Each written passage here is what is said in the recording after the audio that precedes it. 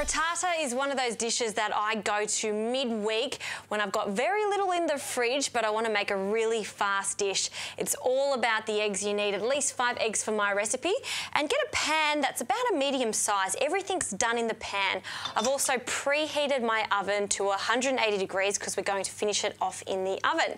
Now, I've got some onions here, just a Spanish onion, and I'll add a little bit of olive oil to the base of this pan and then we'll just start to saute these onions off. Now, I've done many varieties of frittatas. There are so many different ones. The beautiful thing about this is you can use whatever you like. Today I'm using mushrooms and ricotta, a little bit of spinach and lots of herbs, but change it up if you've got a little bit of capsicum or some zucchini, fantastic in a frittata. So let's start making the egg mixture while we're waiting for our onions.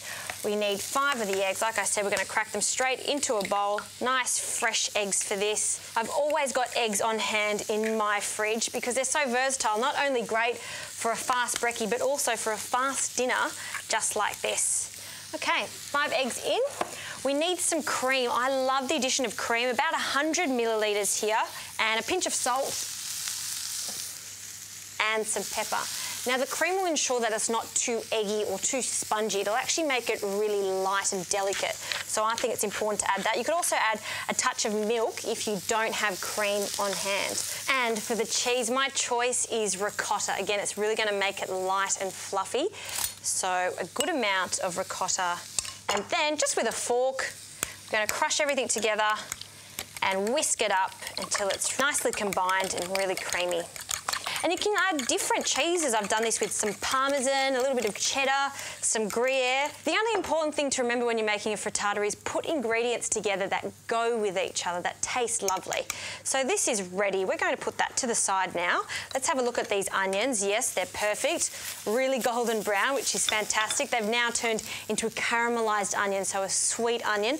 I'm just going to turn the heat down now so I can get on with my mushies. Now, I have some beautiful very large field mushrooms here. I'm just going to trim the stalks and then we're going to cut them into rough pieces. I've also got some Swiss brown which will also go in. So I'm just going to finish cutting these. We'll add them to the onions and cook them down until they're really soft and mushy.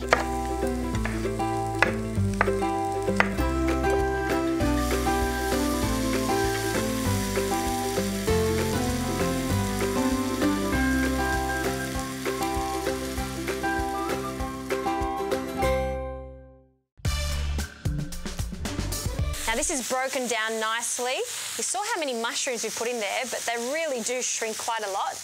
I'll also add some baby spinach, so about a, a, handful in there, and some fresh herbs. I'm going to add a little bit of the parsley and the basil now, but I'll also garnish it at the end. So let's just take the stalks off and scrunch it up, and then we'll run our knife through it thyme and mushrooms go really well together too. So if you've got a bit of thyme in the garden, by all means, you could add that. And we'll sprinkle that in.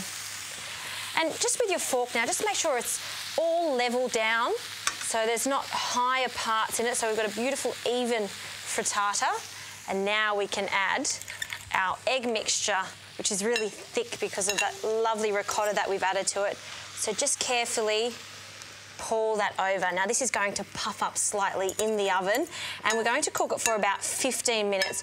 I'm going to check it after 15 minutes. What we're looking for is a set centre. So it might be a little bit longer. It just depends on your oven. Every oven is different. In it goes and we'll wait for that to cook.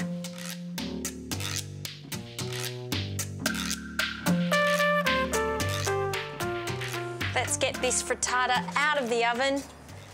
I actually did leave my frittata in for another five minutes just so it can set. And the best way to tell is just to touch it in the centre and if it springs back it's ready to go.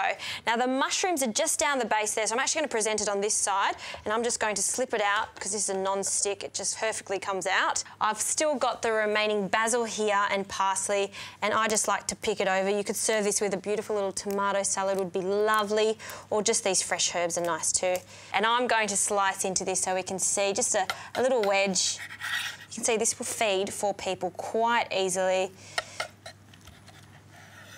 And let's have a look. There you have it. See all those beautiful mushrooms down the bottom there.